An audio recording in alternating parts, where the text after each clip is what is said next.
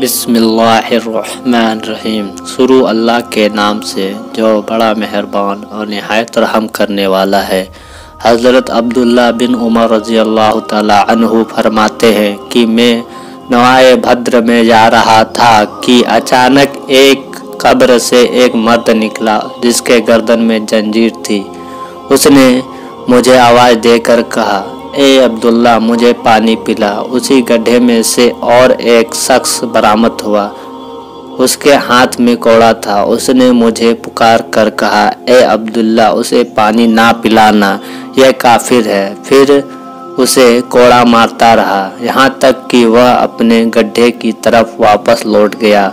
अब्दुल्ला बिन उमर रज़ी अल्लाह तु फरमाते हैं फिर मैं नबी करीम सल्लल्लाहु अलैहि वसल्लम के खिदमत में हाजिर हुआ और मैंने यह वाक़ हजूर अलैहि वसल्लम से अर्ज़ किया कि कि फरमाया, क्या तूने उन्हें देखा है? मैंने अर्ज़ किया हाँ या रसूल अल्लाह मैंने उसे देखा है। हजूर सल्लल्लाहु अलैहि वसल्लम ने फरमाया, वह अल्लाह के दुश्मन अबू जहल था और वह उसका अजाब कब्र था। जो उसे क़यामत तक होता रहेगा।